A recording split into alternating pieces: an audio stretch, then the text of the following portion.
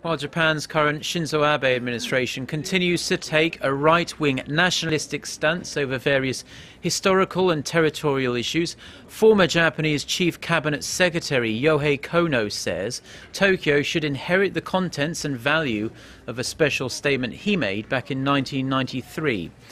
His statement, dubbed the Kono Statement, acknowledges the Japanese military's responsibility for forcing women in colonialized countries into wartime sexual slavery.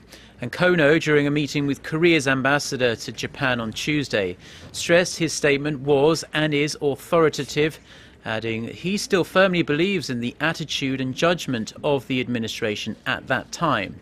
The former chief secretary reportedly expressed regret over the strained relations between Korea and Japan and said he would do his part in trying to mend the country's ties.